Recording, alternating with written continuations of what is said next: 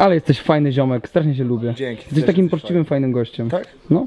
Naprawdę. Poczciwy szpaku. Poczciwy szpaku. Prawie jak poczciwy krzychu. Ty masz fajną czapkę.